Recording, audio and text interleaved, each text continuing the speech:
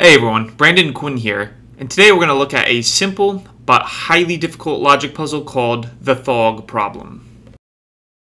Four symbols are presented here a black square, a white square, a black circle, and a white circle. I've secretly picked one of these symbols for myself, but I'm not going to tell you which one I picked.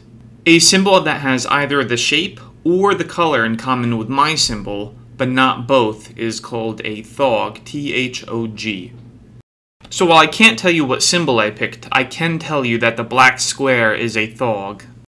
The question for you is, for each of the symbols above, can you determine if that symbol is either a thog, definitely not a thog, or if it's undecidable, meaning you don't have enough information to determine. You have to do this once for every symbol. In my opinion, this is a fascinating puzzle, difficult as it may be, so I highly encourage you to take as much time as you need to work out the solution. Pause the video now if you want to try to work out the solution for yourself, and when you're ready, come back and we'll review the answer together. Let's think about how we can approach the problem. First, we'll focus on the information we're given, and we're given three main pieces of information. The first piece is that I've secretly selected one of the symbols for myself, the second piece is that we've defined a class of symbols called thog, and any symbol that either has the shape or the color in common with my secret symbol, but not both, is a thog. And the third piece of information is that the black square is a thog. The most concrete piece of information of the three is the fact that the black square is a thog. So what does that tell us? It tells us that my secret symbol must either be black or a square, but not both. Let's list out the possibilities based on that observation. If my secret symbol is black, then it must be the black circle. It can't be the black square because the black square is already the thog. If that's the case, then the white circle is also a thog, sharing the circle property with the black circle, and the white square is definitely not a thog because it doesn't share either of the properties. Now let's consider the other possibility, the possibility that my secret symbol is a square, not black.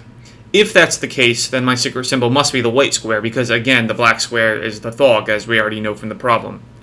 In that case, the white circle is again a thog, sharing the color in common with my secret symbol, and the white square itself cannot be a thog because that is my secret symbol in this scenario. Both possibilities lead to the same outcome. This actually means we didn't even need to determine which symbol is my secret symbol, the one I selected.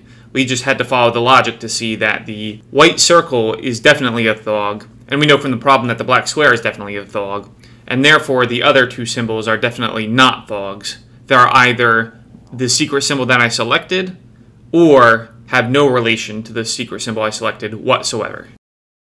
This is an interesting example of a type of logic puzzle where the problem statement states that there's a certain piece of information that's out there that you don't have, and at first, it might seem like you need to find out what that information is before you can solve the puzzle. But then, as it turns out, just by evaluating the logical implications of the information you are given, you can actually arrive at the solution while never learning what that particular piece of information was. I think that this is something that some of the more difficult logic puzzles have in common. I hope you've enjoyed this puzzle as much as I did when I first encountered it. If you did, please consider liking and subscribing so you can stay up to date on more logic videos as I release them. Thanks for watching, and I'll see you next time.